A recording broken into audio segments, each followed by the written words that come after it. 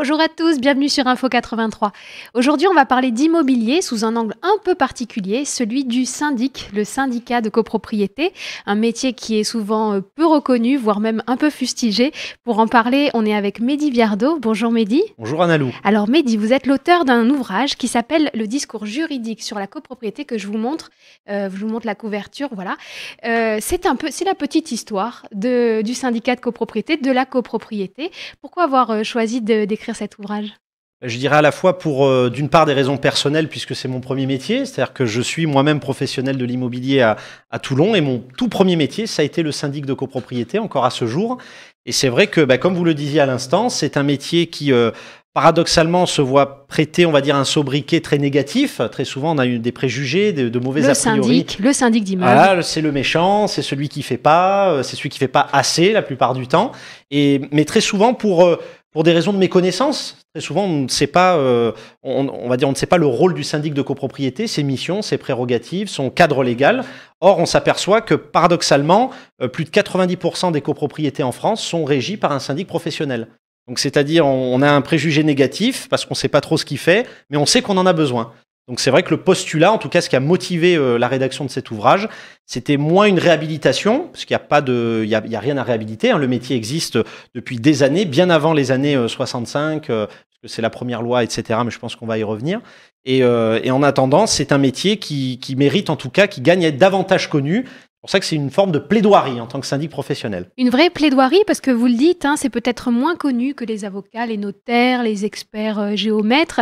Alors, euh, on, revient dans l'histoire, on remonte très très loin dans l'histoire, puisque depuis qu'il y a de la copropriété, il y a des gens pour les gérer. Donc vous remontez quand même, euh, vous allez nous en parler. quelle est la première date, le premier syndicat de copropriété de l'histoire? On va dire le, si je remonte véritablement dans l'histoire, bien avant l'appellation, on va dire de syndicat qui représente la copropriété, le terme syndic, il existe euh, véritablement depuis le système féodal, hein, le Moyen Âge. Au départ, ça désignait, on va dire, un, chef d'une communauté rurale, une forme d'administrateur des communautés euh, euh, rurales. Donc c'était un métier qui était très, comment dire, glorifié, très apprécié. C'était un, métier de conseil. Euh, moi, j'aime bien utiliser cette expression qui n'est pas de moi, hein, qui date de, on va dire, de l'époque bonapartiste, hein, donc ça remonte au 19e siècle, et c'est ce qu'on appelle le jurisconsulte. C'est-à-dire, en gros, c'était un, juriste, un administrateur, quelqu'un qui connaissait euh, très très bien la loi et qui était consulté pour avoir des conseils. Et donc, c'est la première appellation, en tout cas, euh, arrivée, qui, en tout cas, connue du syndic.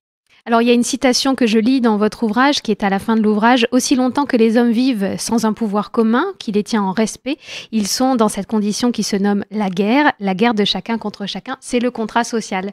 C'est le contrat social. Donc en fait, il y a quelque chose qui m'a beaucoup plu. Vous avez la chance d'avoir une postface vraiment exceptionnelle qui a écrit, je pense, par quelqu'un qui vous estime beaucoup, Isabelle Destrez, qui dit euh, que en fait votre métier c'est de mettre de l'ordre dans le désordre, de favoriser l'harmonie de l'immeuble, de faciliter le vivre ensemble des copropriétaires. Vous vous retrouvez dans cette euh, définition?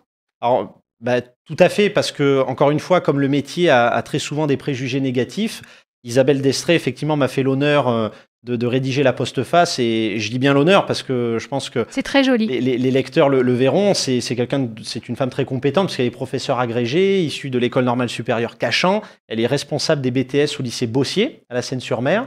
Et c'est vrai qu'on s'est très vite entendu sur la définition du, du métier puisqu'elle-même, elle forme les futurs euh, professionnels et collaborateurs euh, des agences immobilières euh, à la Seine-sur-Mer. Et c'est vrai que le métier, encore une fois, c'est véritablement ça. C'est-à-dire que le syndic de copropriété, la particularité, c'est que c'est le représentant d'un syndicat des copropriétaires, qu'on appelle communément la copropriété. Et, je dirais toujours que ce paradoxe, c'est que c'est le représentant, mais au sens même démocratique du terme. C'est-à-dire qu'il n'a pas de pouvoir de décision. C'est un pur exécutant, c'est le terme exact des volontés du syndicat. Et, c'est ce qu'on rappelle jamais assez. Donc très souvent, il est assimilé à celui qui gère la copro, c'est lui qui décide. En fait, non, pas du tout. C'est un vrai représentant. À juste titre, euh, il est élu avec un mandat de syndic, donc c'est un mandataire, un représentant. Donc c'est pour ça que les termes, je pense que les lecteurs apprécieront. Euh, j'ai essayé de vraiment de vulgariser et, d'initier les néophytes à ces termes-là pour montrer que le syndic est vraiment au service du copropriétaire. Et son optique, c'est euh, euh, des fois, je, plaisante là-dessus parce qu'on a des consoeurs et des confrères qui disent mais quand on est syndic, en fait, on fait tout. On fait, on fait le magistrat, on fait l'huissier, on fait l'avocat, euh, on fait du social, on fait beaucoup d'humain. Et c'est un métier très complet et encore une fois qui gagne à être connu. Et j'espère qu'en tout cas, ce, modeste ouvrage donnera envie, euh, peut-être suscitera des vocations, sait-on jamais.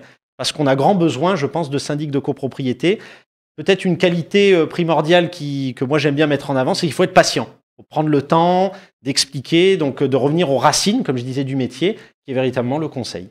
Bah, en tout cas, j'espère effectivement que ça donnera envie pour ceux que ça intéresse. Donc, le discours juridique sur la copropriété, c'est un ouvrage qui a été édité ici, édition Livre en scène. Où est-ce qu'on peut le retrouver cet ouvrage? Alors dans, toutes les librairies, donc euh, bah, toutes les librairies physiques, et vous pouvez le trouver aussi sur les plateformes en ligne tiens quand même à souligner, puisqu'on a quand même évoqué euh, Isabelle Destré, et je suis quand même, euh, il faut que je le, souligne, le, livre a été euh, soutenu par la Chambre FNIM du Var, à laquelle j'ai la chance de, pouvoir, au sein de laquelle j'ai la chance de pouvoir siéger, aux côtés de David Garavagno. Je sais que Info 83 le, connaît bien, vous l'avez reçu il n'y a pas très longtemps. Et encore une fois, pourquoi ce soutien il est très important? Parce que la FNIM, qui est notre syndicat professionnel, euh, pour ceux qui ne comprennent pas trop le terme, je dis toujours c'est comme un, un pis-aller d'ordre professionnel, comme vous avez dit, les avocats, les géomètres experts.